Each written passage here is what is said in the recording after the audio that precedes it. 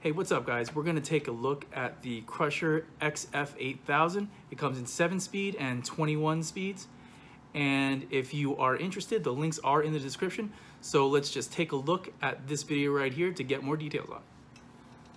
So first off, we have the aluminum alloy spring and oil based front fork suspension system. This also comes with a lock-in or lock-out feature depending on the type of terrain you're riding on.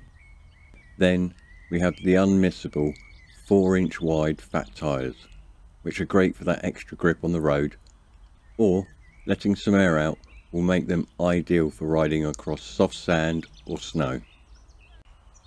We have a nice and bright LED front light that can be turned on or off from the bike computer for riding in darker conditions. Next we have the battery, which is a 48 volt 13 amp hour lithium battery, which has a waterproof design, a handy USB charging port for your phone or any other USB device, and fully charges in 3 to 6 hours. Sitting just behind the battery, we can see the middle suspension system, which is rated at £1,000 and is sprung loaded for that extra comfort.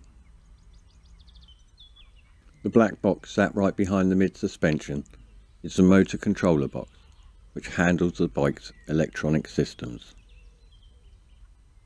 Moving to the back of the bike, we can see the 1000 watt brushless motor, which is said to reach 42 kilometers per hour or 26 miles per hour within 10 seconds. Coupled with its high torque capabilities, it's also great and makes light work of steep hills. On the outside of the rear wheel, we can see the 7-speed Shimano TX35 derailleur system connected to a 7S flywheel which is in turn connected to the front pedals by the bike chain. Moving round to the rear left side of the bike you can see the included bike stand and the rear hydraulic disc brake system. The disc is a 203mm diameter and also features power off to the motor when the brakes are engaged, with the same on the front left of the bike. Moving on to the handlebar we can see the hydraulic brake lever. In front of this we have the full twist throttle for pedalless riding and to the left of the right grip we have the Shimano TX50 shift lever to enable you to shift up and down through the seven gears.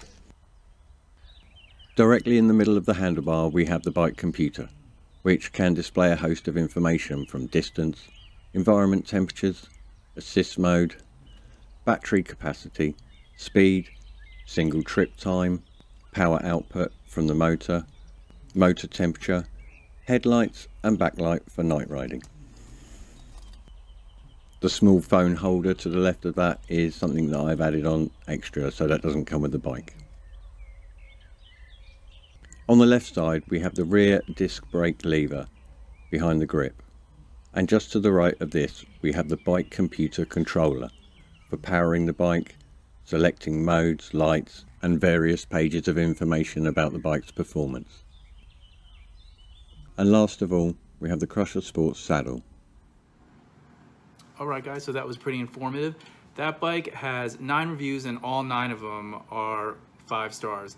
So like I said before, if you are interested, the link is in the description and have a look. Thanks for stopping by. I'll see you next time.